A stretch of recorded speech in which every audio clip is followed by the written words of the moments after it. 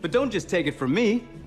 Take it from my good friend, the Black Transformer Jazz. What's cracking, my homies? Jazz gets down with the Ron nizzle. Oh my god, does he really talk like that in the movie?